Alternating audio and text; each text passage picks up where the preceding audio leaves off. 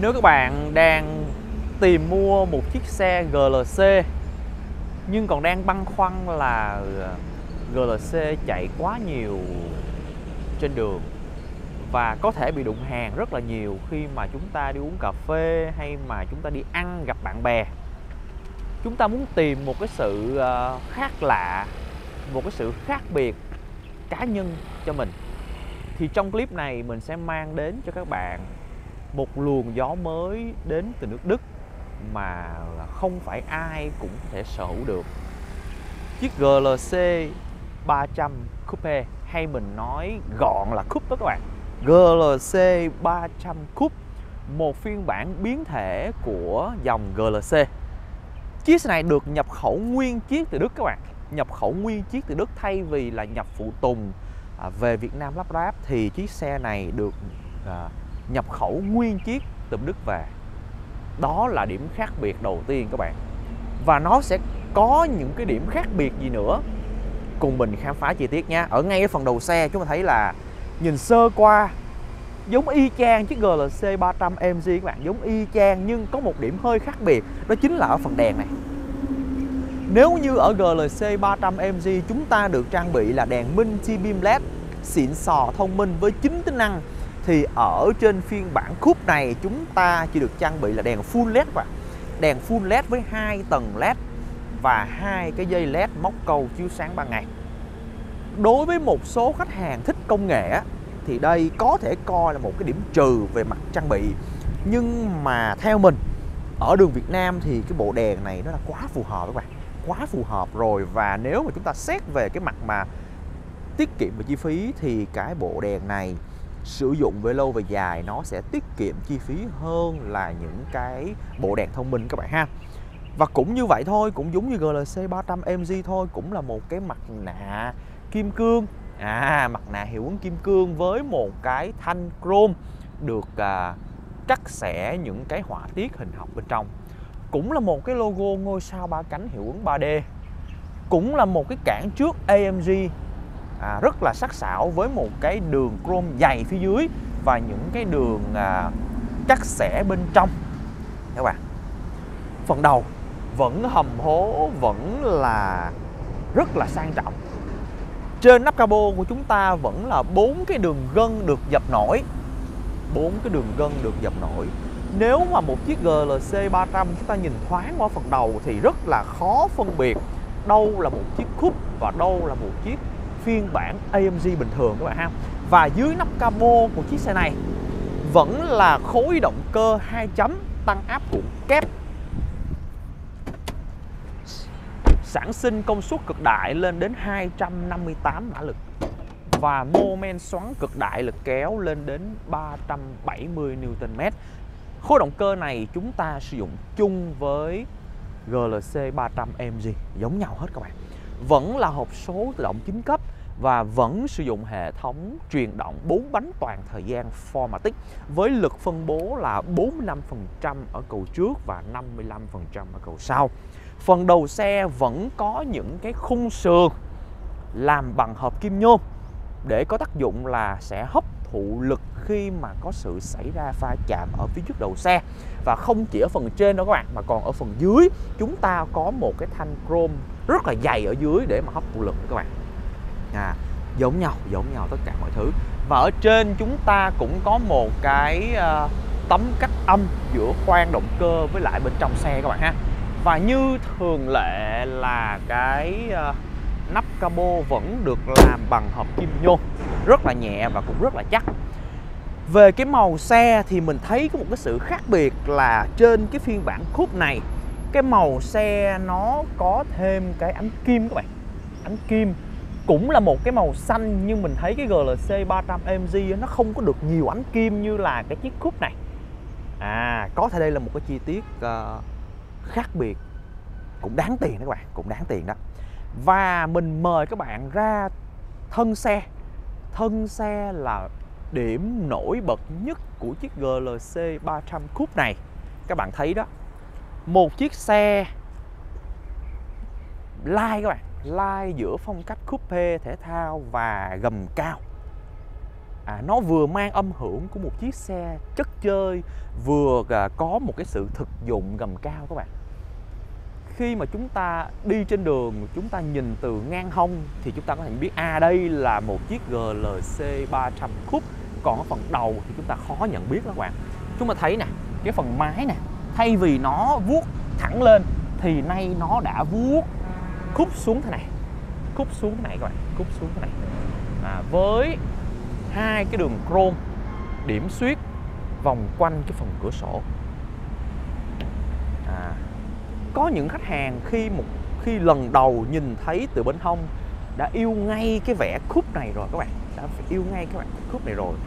Lúc trước á, thì à, có những khách hàng ngại mua những cái phiên bản khúc vì đa số các phiên bản cúp á, là gầm thấp và cái gầm rất là sát mặt đất luôn rất là bất tiện. Thì nay phiên bản cúp đã có trên những chiếc xe gầm cao. Chúng ta à, có thể đi xa những cái đường xấu rất là tiện với cái gầm cao này các bạn. Với cái gầm cao này. Và có luôn một cái bệ bước bằng hợp kim nhôm trang bị tiêu chuẩn trên xe. Chúng ta vẫn có một cái bộ mâm AMG 5 chấu kép với hai cái à, màu sơn tương phản màu đen và màu bạc và một cái lớp dày à một cái lớp dày đóng cửa các bạn, đóng cửa rất là chắc luôn. Đóng cửa rất là chắc.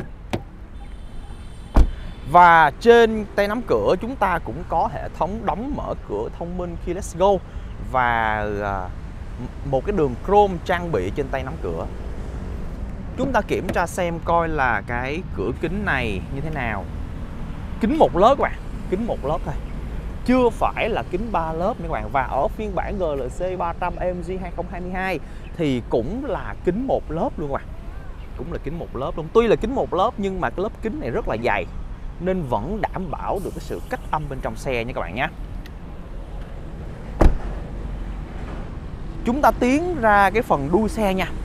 Ở cái phần đuôi xe là cái điểm nhấn đặc biệt thứ hai của cái phiên bản GLC 300 khúc này với cái à, mình tạm gọi là cái bờ mông đi nó nhô cao lên các bạn nó nhô cao lên. Kết hợp với lại cái phần thân xe vuốt xuống tạo nên cái phần tổng thể đuôi xe nó rất là hài hòa các bạn. Nó rất là hài hòa và nó tạo nên một cái sự đặc biệt cho cái phiên bản cúp này. Nổi bật thêm thứ hai nữa đó chính là cái phần đèn hậu này. Cái phần đèn hậu này nó vuốt dài các bạn nó vuốt từ bên hông bên đây sang bên đây. À với hai cái dây led đèn hậu các bạn. Ở trên chúng ta có một cái đường đường chrome dày làm điểm nhấn cho cái phần đèn hậu này. Ở trên chúng ta có một cái cánh à, một cái đuôi nó nhô lên giống giống như cánh nước gió các bạn. Giống giống như là cánh nước gió. À, những cái chi tiết nhỏ nhỏ nhỏ nhỏ nhưng mà nó góp phần tạo nên cái điểm nhấn rất đặc biệt cho cái phiên bản coupe này. Và ở dưới chúng ta có hai cái ống xả kép được mạ chrome với một cái đường chrome kéo dài từ bên trái sang bên phải xe và có những cái cánh lướt gió phía sau các bạn. Phía sau chúng ta có 6 cảm biến phía sau và 6 cảm biến phía trước. Logo này. Logo là một điều ờ, rất là đặc biệt, chắc cũng nhiều bạn cũng biết rồi. Thì chúng ta, khi chúng ta mở cốp chúng ta chỉ cần đẩy cái logo này vào thôi. Đó, là cốp sẽ mở ra. Một chiếc xe thể thao nhưng rất là thực dụng ngoài cái gầm cao ra thì chúng ta còn có một cái cốp rất là rộng luôn. Rất là rộng ha. Và chúng ta có thể để những cái đồ nhẹ ở trên này. À, những cái đồ nhẹ ở trên này ha. Ở dưới đây chúng ta có một cái ngăn. Chúng ta có thể để những cái đồ thêm ở dưới này ha. Và có lốp sơ cua ở dưới. Nếu chúng ta đi hai người thì chúng ta có thể gập cái hàng ghế thứ hai lại ha cặp cái hàng ghế thứ hai đài để chúng ta để thêm đồ và chúng ta tháo cái phần à, tấm ngăn này ra. À, rất là rộng rãi luôn. Rất là rộng rãi ha. Xe này chúng ta đi du lịch chúng ta để đồ hoặc là chúng ta để vali thì rất là tuyệt luôn các bạn ơi. Về mặt an toàn thì à, ở chiếc GLC 300 Coupe này được trang bị à, những tính năng an toàn giống như là ở phiên bản GLC 300 AMG cũng là 7 túi khí xung quanh xe vẫn là hệ thống cân bằng điện tử tích hợp chống trượt vẫn là hệ thống chống bó cứng phanh ABS vẫn là hệ thống đèn phanh nhấp nháy khẩn cấp. À, đầy đủ những tính an toàn trên chiếc coupe này. Ok chúng ta sẽ cùng nhau tiến vào bên trong cái khoang nội thất của chiếc coupe này để xem nó như thế nào nha và như thường lệ là cái phần cánh cửa xe. Cánh cửa xe ha. Một cái điều ờ, đặc biệt mình muốn chia sẻ với các bạn đó chính là cái màu da ghế. Nghe phần cánh cửa chúng ta thấy rồi. Ở chiếc ở chiếc ờ, cúp này có cái màu da đỏ các bạn. Tất nhiên có nhiều cái cái lựa chọn màu da, nhưng ở chiếc cúp này có cái da màu đỏ là độc quyền trên chiếc coupe này mà ở những phiên bản AMG bình thường không có các bạn đây màu đỏ bạn thấy là màu đỏ. Và nó có những cái đường chỉ may xéo màu đen song song làm nổi bật cho cái nền da đỏ này. Ở trên chúng ta có một cái tấm ốp da. À, và cái đường chỉ may trắng. Phía dưới chúng ta được ốp gỗ sồi sần các bạn. Và một cái đường chrome mỏng ở phía dưới đây. Loa chúng ta là loa tiêu chuẩn thôi chưa phải là loa Burmester nha và hai ghế trước được chỉnh điện tích hợp nhớ ba vị trí cùng toàn bộ nút bấm được mạ chrome chỉnh chung. Phần tay nắm này chúng ta cũng được ốp da với hai cái đường chỉ may song song màu trắng làm điểm nhấn. Phía dưới là nhựa mềm cao cấp. Mình đang ngồi ở khoang lái của chiếc GLC 300 Coupe này. Về cái mặt thiết kế tổng thể á, nó cũng giống như phiên bản GLC 300 AMG đó các bạn. Nhưng mà có một điểm mình xin nhắc lại rất là khác biệt đó chính là cái phần ghế này. Chính cái màu này nó tạo nên cái sự khác biệt cho tổng thể cái khoang lái của chiếc xe. Chúng ta có một cái da đỏ kết hợp với lại cái vành đen nhìn chiếc xe cảm giác rất là cá tính luôn bạn. Rất là cá tính và rất là nổi bật luôn. Và cái chất liệu da của chúng ta là da thật các bạn ha da thật. Khi mà chúng ta đi trời nắng á, thì nó sẽ rất là mát lưng và mát cái phần mông của chúng ta. Nó đẹp và chất lượng cũng rất là xịn nữa các bạn. Và chúng ta vẫn có một cái đường ốp đây làm điểm nhấn ha. Cái đường ốp gỗ sồi này à, những cái nút chỉnh lạnh này được mạ chrome phay xước này. Hốc gió cũng được mạ chrome vẫn là một cái màn hình dài ha các bạn màn hình dài với cái đường chrome mỏng làm điểm nhấn xung quanh. Ốp da ốp da à ốp da tắp lô. Với hai cái đường chỉ may song song màu trắng một cái đường nhôm một cái đường nhôm ốp ngay đây à, làm điểm nhấn cái phần tắp lô của xe. Cái phần màn hình này chúng ta có thể điều chỉnh bằng cảm ứng này rất là nhạy luôn hoặc ở dưới này chúng ta có một cái touchpad ha. Chúng ta chỉnh thì khi chúng ta điều chuyển thì nó sẽ rung rung ngay phần ngón tay ha. Cảm giác rất là thích luôn. Và trên vô lăng cũng có một cái nút luôn để chúng ta điều khiển cái phần màn hình này. Trên màn hình chúng ta có cả tiếng Việt và cả tiếng Anh để chúng ta tích hợp nghe đài này nghe nhạc này và đèn viền nội thất 64 màu nha. 64 màu. À, và có thể phối được nhiều cái kiểu màu khác nhau nữa hoặc là chúng ta có thể chọn đơn màu cũng được các bạn. Chúng ta có camera 360 tích hợp ngay trên màn hình luôn các bạn. Rất là nét rất là nét và chúng ta có thể xem được những cái góc khác nhau. À, do là cánh cửa bên kia đang mở ha nên chúng ta không có coi được cái phần bên phải. Khi chúng ta đóng lại chúng ta coi được bên phải nha. Và chúng ta cũng tích hợp chế độ lái này eco tiết kiệm nhiên liệu này. Comfort êm ái ha êm ái. Sport là bốt các bạn Sport là bốt và Sport cộng là chế độ mạnh nhất của xe. À, chúng ta tùy biến chỉnh ha. Ngăn để đồ xe không có được trang bị à, sạc không dây các bạn. Không được trang bị sạc không dây. Trên chiếc MG thì chúng ta có sạc không dây ha.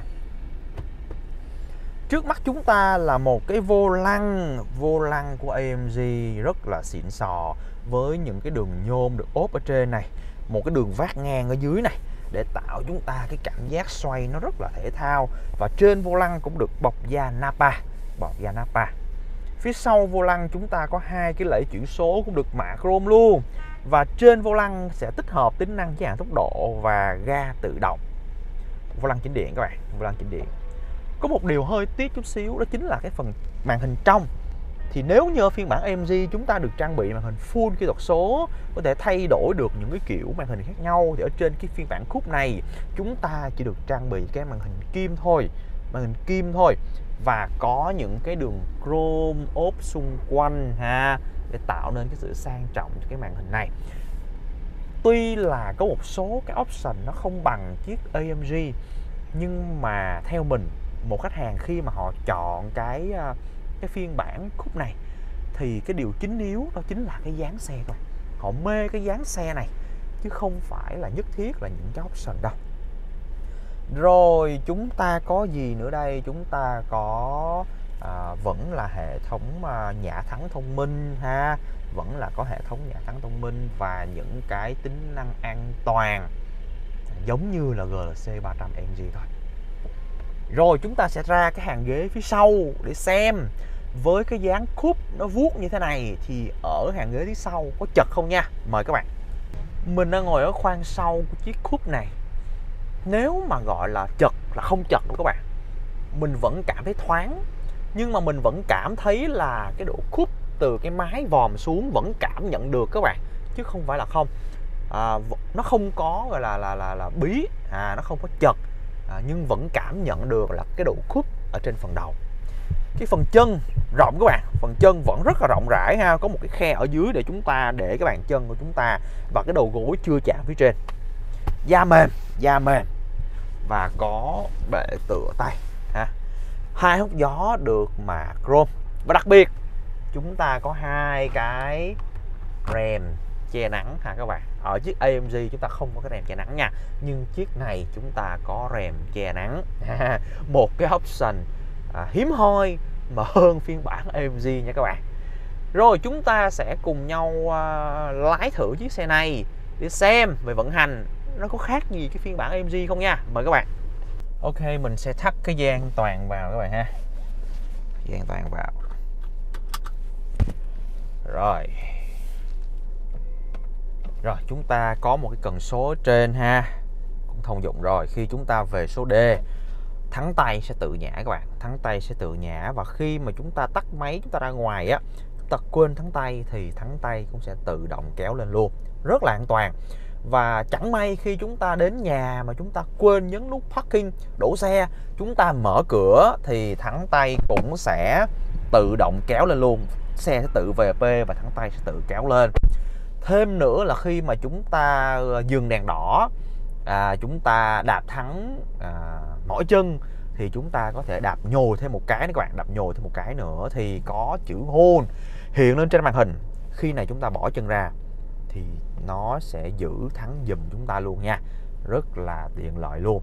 Và khi mà chúng ta đi chúng ta chỉ cần đạp phanh cái nữa để mất chữ hôn chúng ta lên đường ha. Cảm giác ờ, đầu tiên mình cảm nhận là ga rất là nhẹ nhàng. Mình đang đi chế độ comfort các bạn. Vô lăng nhẹ vô lăng nhẹ. Qua G xem. Qua G. À, chiếc xe được trang bị là hệ thống treo thể thao. Hệ thống treo thể thao nó sẽ giống với chiếc GLC 300 phiên bản 2022 AMG à, về cái độ chắc á, thì chắc chắn là nó sẽ chắc hơn là cái hệ thống treo uh, thích ứng rồi. Nhưng mà nếu mà gọi là ờ, qua G thì nó sẽ uh, không mềm bằng bạn nó vẫn có một cái độ cứng của hệ thống treo thể thao các bạn ha. Nhưng bù lại khi mà chúng ta đi tốc độ cao á thì cái xe sẽ rất là đầm luôn. Phía dưới gầm của chiếc GLC 300 Coupe này chúng ta được trang bị là hệ thống treo độc lập với những cái càng y càng a. À, bằng hợp kim nhôm các bạn bằng hợp kim nhôm.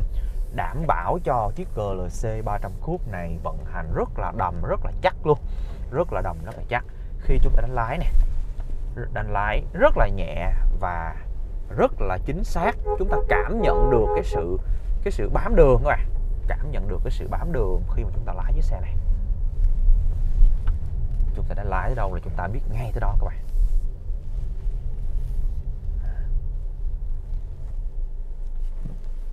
Chiếc xe này khi mà chúng ta vận hành à, trong phố đó rất là tiện tại vì kích thước nó không quá lớn nó gọn à. Nhưng mà khi chúng ta đi à, đường trường tốc độ cao cũng sẽ mang lại cái cảm giác vận hành rất là tuyệt vời luôn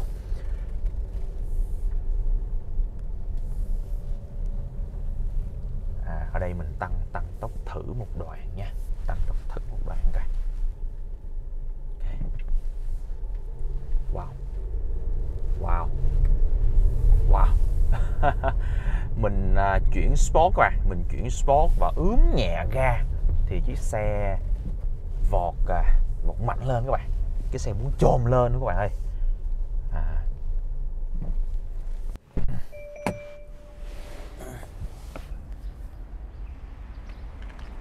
mình và các bạn vừa cùng nhau uh, trải nghiệm chi tiết chiếc GLC 300 Coupe này. Một chiếc xe về Việt Nam rất là ít các bạn vì là một chiếc xe nhập khẩu nguyên chiếc từ Đức nên số lượng xe về Việt Nam cực kỳ ít luôn. Và với giá là 3 tỷ 069 triệu. Nếu mà so về uh, phần giá xe thì nó sẽ nhỉnh hơn phiên bản AMG khoảng 500 triệu. Theo các bạn, chiếc xe này như thế nào? Với mức giá 3 tỷ 069 triệu, hãy cho mình lắng nghe ý kiến của các bạn bằng cách comment ở phía dưới video này. Và nếu thấy clip hay cho mình một like, nhấn vào nút chuông để theo dõi những video tiếp theo của mình nha. Và nếu các bạn có nhu cầu tìm hiểu thêm thông tin chi tiết về chiếc Mercedes GLC 300 Coupe này hãy liên hệ ngay với mình theo số điện thoại 0934 091 193 Xin chào.